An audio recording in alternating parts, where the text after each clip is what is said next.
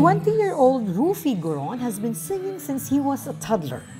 The young artist from Lloydminster, Alberta, comes from a musical family and says music came naturally to him.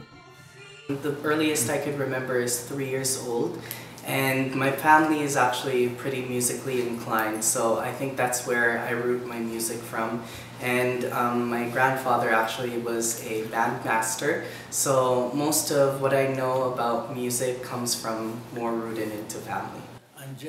Guron was discovered by local talent agent Tony Sortida, who owns the Edmonton-based La Tigra Entertainment Productions.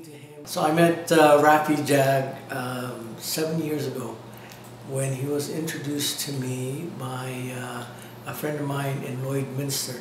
I was delivering a vehicle and then his, my friend says, please uh, listen to this young kid. And I, I believe he was seven years old, 12 years old at that time. And uh, he sang Dance with My Father Again as kind of a, an introduction of his talent to me. And from that very instant, I fell in love with this kid.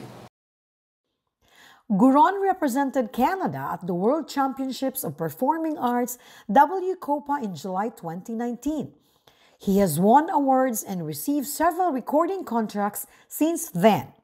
So internationally, um, ever since that I won those titles over in the World Championships, uh, which is WCOPA, I've been recognized internationally and I performed in Dubai where I won my, um, my awards as the Golden Voice of Dubai and from that I've gotten the chance to work with um, OPM artists um, Mr. Benny Saturno which I've produced a music for called Hanggang Langit.